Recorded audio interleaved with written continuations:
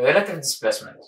إحنا كنا قلنا إن أنا لو عندي spring وجيت شديت ال spring ب displacement x هيتولد force F طب فرض إن أنا كمان رحت جاي شاددها الناحية الثانية ب displacement ثانية وليكن مثلا y يبقى ساعتها ال force بتاعتي هتزيد ولا هتقل؟ أكيد ال force بتاعتي هتزيد. هتزيد بمقدار ال x زائد ال y ال spring أثرت عليها x في الاتجاه ده و y عكس الاتجاه.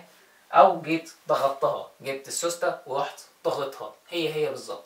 هضغط من الناحية دي زائد ما هضغط الناحية دي.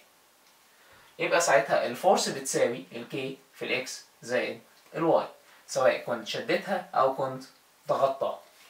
طيب أنا لو رحت جاي شادد ال spring كده ب displacement x بعد كده رحت جاي مقرب شوية إيه اللي حصل؟ ال force قلت. نفس الموضوع رحت جاي شادد ال spring ب displacement y وقربت ال displacement شوية إيه اللي حصل؟ ال force بتقل أكيد ما بتزيدش لأن قللت المسافة. يبقى ال force ساعتها هتساوي ال K في ال x minus ال y طب هي إكس ناقص واي ولا واي ناقص إكس نبقى نقولها قدام لما نيجي نحل مسائل طبعا اللي هيمشي على ال spring هيمشي على ال damper